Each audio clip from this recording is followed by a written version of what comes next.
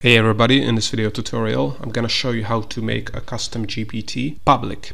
So if you want to publicly share a custom GPT that you have previously created and it's a private GPT, here's how to do that. So you have to do is open up your My GPTs page and you can re-access this page by clicking on your account name and select My GPTs or you can also click on the explore button here. Both of them will open up this My GPTs page. So if you want to make a GPT public, all you have to do is click on the edit button here. As you can see, it's a public GPT because we can see this lock icon here. So if we click on the edit button here, this will open up the GPT builder where you're going to be able to edit the custom GPT. And we don't want to configure or change anything in the configuration page. What we want to do is make this public. So all we have to do is click on this down arrow next to the save button.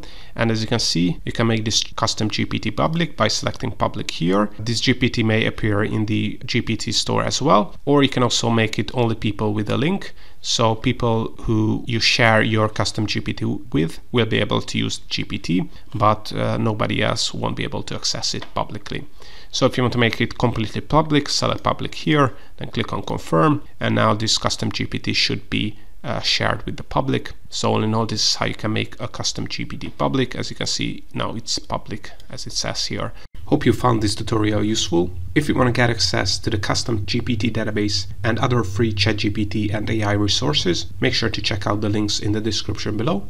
And if you want to learn more about ChatGPT, custom GPTs, ChatGPT plugins, and other AI software, make sure to check out our YouTube channel and playlists because we have over a thousand free tutorials and also make sure to subscribe because we have more tutorials coming up.